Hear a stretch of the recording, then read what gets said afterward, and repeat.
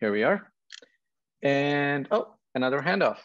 Uh, we have John, who's going to talk to us about the Data Hub hackathon that the Depop guys did. Um, and uh, you know, it was pretty cool to see them pop in, literally pop in to the community channel and say, "Hey, we're doing a hackathon." And um, you know, in a few days, they had they were contributing Glue uh, integration back to us, and you know, the Klarna folks helped them out. So thanks for that collab. I think it was really nice to see that happen. Take it away, John.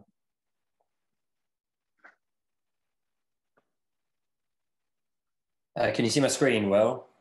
Yep. Awesome. Uh, yeah, a bit of a tough one to follow that one. Uh, that looked really good. Um, so I hope I hope I don't disappoint you here. But um, anyway, uh, my name's uh, my name's John. I'm the lead data engineer here at Depop. Um, and yeah, here to talk about the hackathon that we did uh, with the data.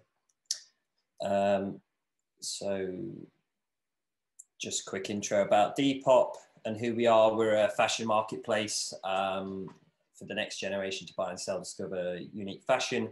So we're an app. Basically, we sell, uh, provide the ability to um, uh, sell predominantly second-hand uh, fashion uh, and sustainable fashion. You can think of as a bit like uh, eBay mixed with Instagram. That's what I told my mum anyway um, when I joined. Uh, but um, yeah, lots of lots of people in the UK using Depop, and it's growing around the world uh, as well as the US too. Um, uh, yeah, and we're we're growing very fast, and our data needs are, growing uh, well too. Um, so why did we look at the um, data hub? Well, uh, we need to um, enable the business to use data in a self-service fashion, and we need a single lo location for all of our data needs. Um, shout out to the design crew who did that. It certainly wasn't me.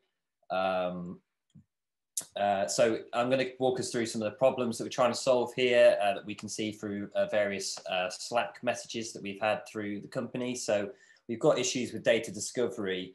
Somebody new joins and um, they want to know about data for, for our CRM and they, they don't really know where to find it, uh, which is a bit of a shame.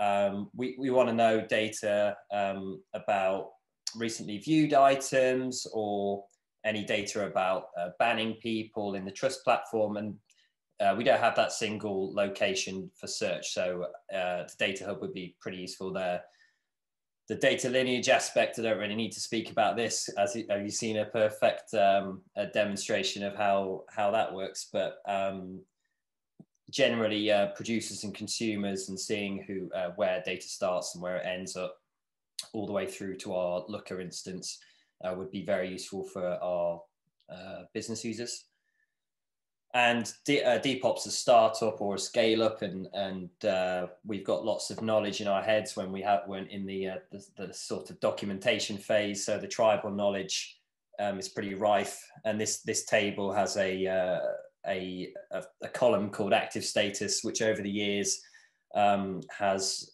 has baffled many people in the business, including this guy who said active status could just about mean anything.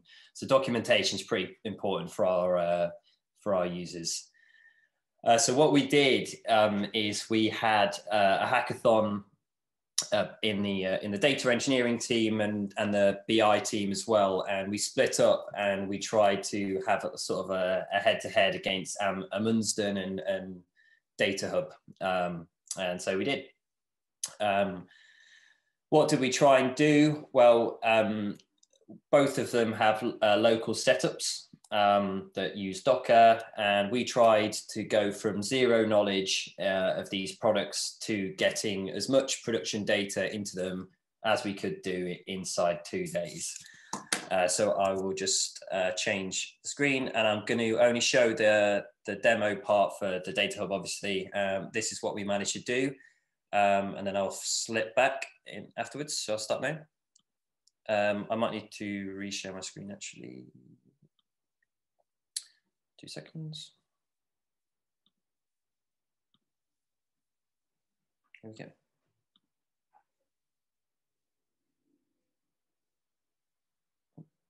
Can, is it playing? Oh no, that's nightmare. No worries. I'll quickly refresh it. We just see our desktop. John. Oh, that's good. Are you enjoying the mess? Um, sorry.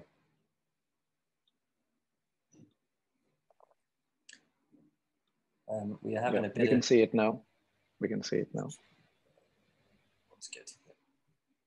But Data Hub didn't have any glue support, so we spent the last two days um, figuring out how we could ingest data from Glue into Data Hub, and we managed to do it. So that's good. Um, so if you look in data sets, we have prod, then we have this glue here. And then uh, this then goes to a database level. So for example, if we just click in random on like data lake compacted, um, here's all of the tables that are in there. Um, if you search for product create and then go to the one in compacted. So yeah, this has the search as well. Um, so for example, you can have, say we added a description here. Most of our data isn't really well documented, doesn't have descriptions. Um, but in the schemas, for example, in Glue, you can have descriptions for each field. Um, I know there's often confusion about like what a user ID actually is. Is it the seller? Da da da da da. So all that can be documented. Um, got the name of each field, the type on the left, the descriptions. Um, so that's the schemas. There's also ownership um, that we could pull out. All of ours are apparently owned by owner, so that's not that helpful, but that can be changed. Um, and then properties has um, just properties about the table that get pulled out. So just extra information in there. And then you have the option to add documents, but we didn't have any for any of those. But yeah, um, I think we're going to open a PR in the Data Hub repo for the glue support. And that's pretty much it. I don't know if I missed anything. That's cool. Um, thanks. Uh, Laurent, do you want to show the, the Looker integration? Yeah, sure. So um, basically, uh, our team, uh, Rob, Abby, and myself, we um, worked on integrating uh, the Redshift tables and Looker. Um, so as similar to the glue schemas, you know, the Redshift tables, we it basically pulled uh, the tables from from Redshift, and it has again schema types, uh, names of fields. Um, we also have ownership and all of that, so that's existent. Um, obviously, we've implemented on the and obviously tags. Um, similar to Amundsen, I think uh, in terms of the um, like search, um, if I search for a keyword here, I am able to see the uh, um, all the entities that have the, this particular tag, and I can even do that the opposite way by going to the tag and then looking look up you know everything that has this tag.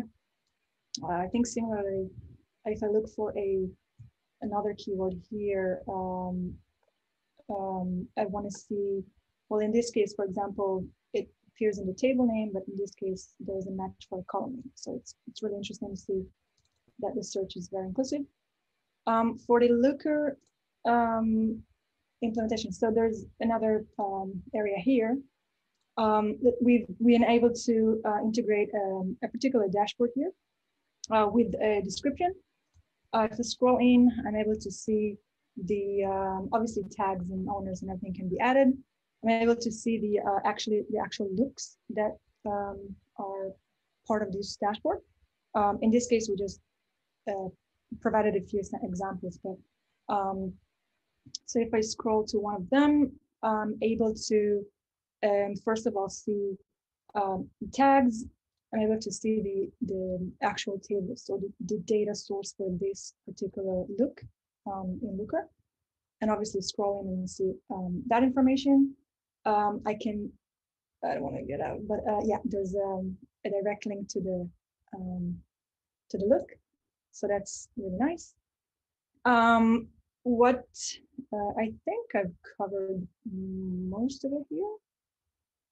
Um, uh, if you check uh, confirm signups, you can see documentation oh, yeah. and lineage. Yeah, yeah so uh, yeah, we, this is um, a Redshift table. Um, and any documentation, uh, let's say it's an ETL based or any logic that is uh, part of that um, uh, creation of the table, we were able to see that. And um, each entity uh, here, you're able to see the upstream and downstream dependencies. So that's very useful uh, for data lineage. Uh,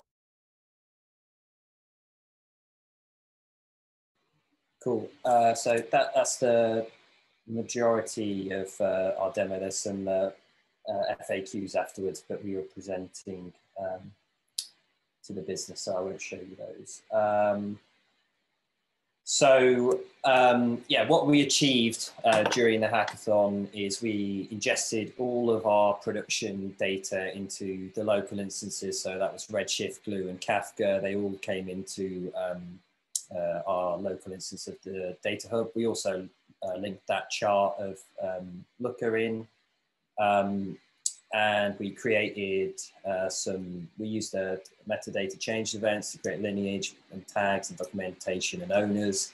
And we created a uh, merge the pull request, uh, which was pretty nice. Um, so I think that the most important thing for us and, and probably sort uh, for any advice I could give uh, people who are here who haven't decided yet is um, why we actually picked the data hub.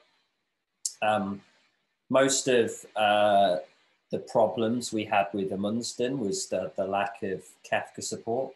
And when we tried to integrate that with Data Hub, it just worked straight away. And um, as you can see, um, uh, we added the glue integration, which was really easy, and the, the process for adding um, a new ingestion um, type was, was super, super easy. It was very straightforward. The docs were set up nicely. Um, and most, I think um, Pedro said it earlier, the support from uh, from the team was just immense. Uh, immense. It was amazing. Um, we were messaging at all times, and we were getting responses and pushing that. Um, PR was was really trivial, and thanks to Klarna for helping us out there as well. Um, yeah, the the aspect of data lineage is really important for us because we have several layers of transformations um, on a business level, and Amundsen didn't really support that very well.